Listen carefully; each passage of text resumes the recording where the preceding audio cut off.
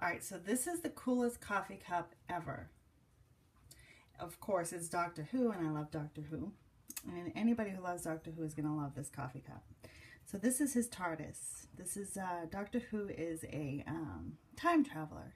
And this is what he travels in, his TARDIS, which is like his UFO. Right now, it's in a neighborhood, probably in England somewhere. And this is outer space. Okay? What I'm going to do, I'm going to put some coffee in it. Let me get the coffee. Of course, you don't get to see me this morning because I just woke up and it's pre-coffee. And that wouldn't be a good thing. That would be a very, very bad thing. Embarrassing thing.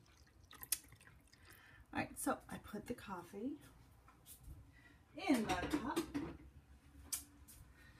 And when he starts to travel, when he starts to take off in his TARDIS, it starts to disappear.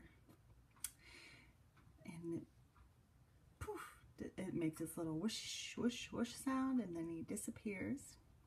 And so that's what's happening on the cup. He's starting to disappear with the hot coffee.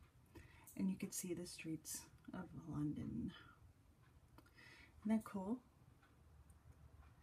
So then you wonder, where did it go? He's going to be traveling somewhere, right? Well, let's see. He is now in outer space doing his traveling timey-wimey thing.